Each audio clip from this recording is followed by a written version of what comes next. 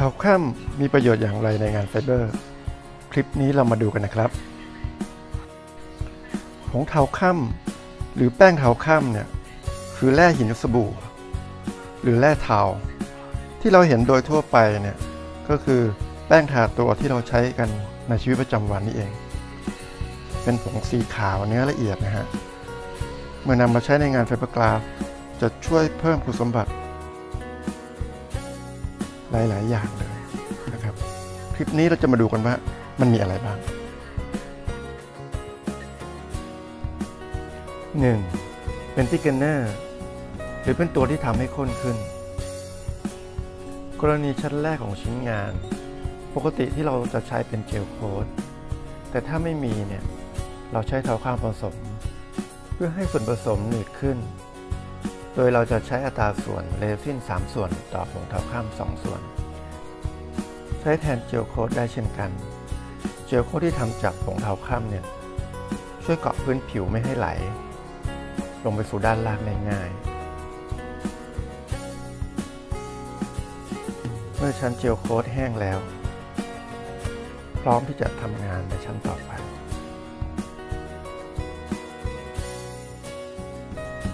2. เพิ่มเนื้อ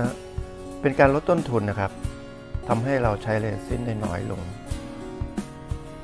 ประหยัดต้นทุนได้มากขึ้น การใช้เทาข้ามผสมลงไปในเรซิน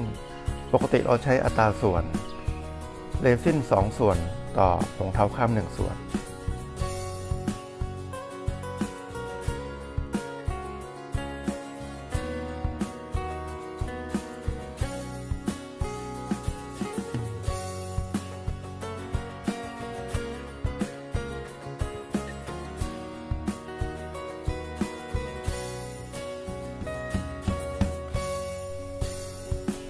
3. ทำให้ชิ้นงานทึบแสง การผสมผงเทาค่ำเนี่ยจึงช่วยประหยัดทั้งสีที่เราผสมในเนื้อเรซินและสีที่เราจะทาหรือพ่น เนื่องจากสีจะขึ้นได้ง่าย 4. ทำให้ชิ้นงานแข็งขึ้น ไม่บิดงอง่าย ถ้าเราใช้เรซินล้วนๆร่วมกับใยแก้วเนี่ยชิ้นงานออกมาเนี่ยสามารถบิดงอได้ง่าย แต่ถ้าเกิดเราผสมผงเทาค่ำจะเพิ่มความแข็งแรง ชิ้นงานเนี่ยจะไม่สามารถบิดงอง่าย หรือปิดงอได้ยากมากๆ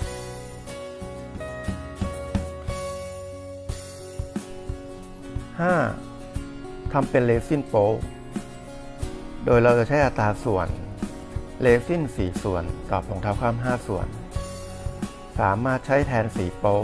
ได้ดี และประหยัดกว่าเยอะ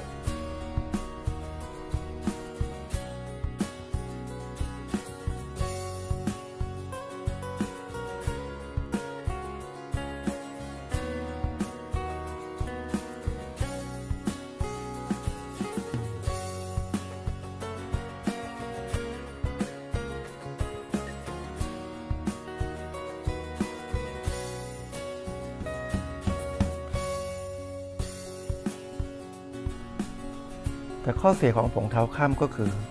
เมื่อผสมแล้วชิ้นงานจะหนักขึ้น ถ้างานที่ต้องการความเบามากๆ เช่น พวกงานรถแข่ง หรืองานเครื่องบินบังคับเนี่ยจึงไม่นิยมใช้โดยจะใช้เลซินล้วนๆกับใยแก้วเท่านั้น